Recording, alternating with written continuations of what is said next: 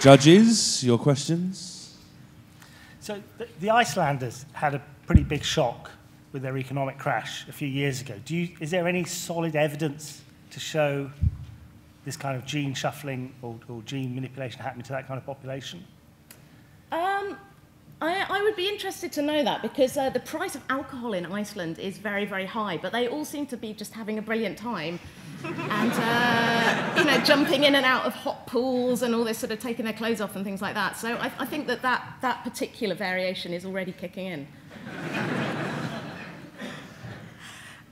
So there's um, a lot of pressure on you know, researchers to prove the wider impact of their work. So do you think there's anything in, say, being able to harvest the alcohol um, that we're producing so that we could, you know, sell human gin, for example? Wow. um, I, I like the way you're thinking. We'll talk later. Um, yeah, I mean, you, you, you would definitely want like some kind of sustainable source that could constantly be renewed. Um, I think maybe replacing sperm banks with. Uh, I mean, it's like a ready made cocktail for a start. Am I right, ladies? I, I, I don't know. That's, it's an idea, though. I'll, I'll workshop that.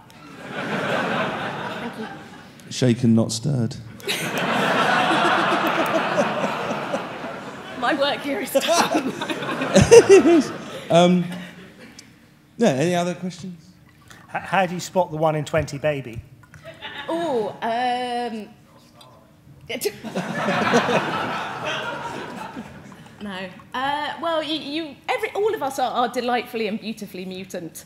Um, so yeah, you, you would be looking out for really un, unusual traits. Uh, hmm, maybe a mole, something like that. But yeah, it's, it's very difficult to. to... Thank you. Thank you very much.